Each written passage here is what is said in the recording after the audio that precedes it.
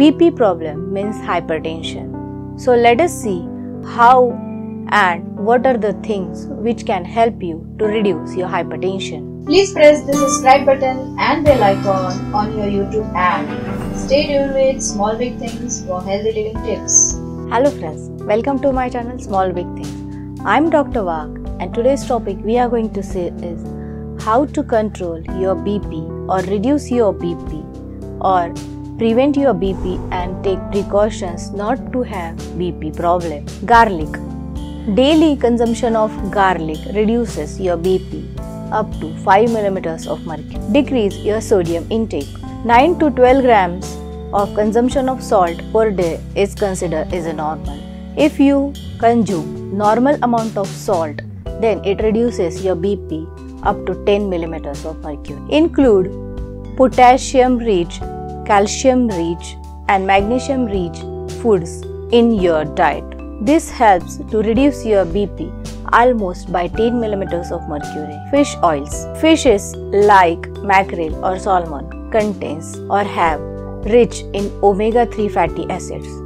These helps you to reduce your BP almost by 15 to 16 millimeters of mercury. Try not to have stress or tackle it smartly to prevent BP problem.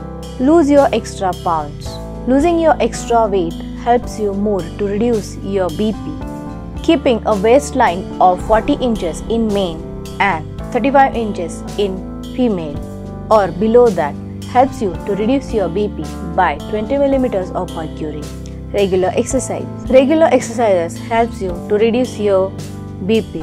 The exercises you can do is running, jogging, swimming, dancing. These exercises burn your calories more and help you to reduce your BP. Taper your smoking and quit the smoking. Yes, quitting smoking a bit difficult but you can taper your number of cigarettes per day and finally you can quit smoking to help your BP to reduce. Do not skip your BP medicines and do a regular follow up with your physician to titrate the dose whether to decrease the dose of your BP medicine or you need any increase in the dose. So friends, these are the small tips to help you to reduce your hypertension or your BP. I hope you like this video. Please comment below if you have any queries. You can also add to my knowledge. Please help me to make our society more healthy physically, mentally and professionally. So share more and more this video with your friends, relatives and colleagues too. And subscribe to my channel Small Big Things for regular updates.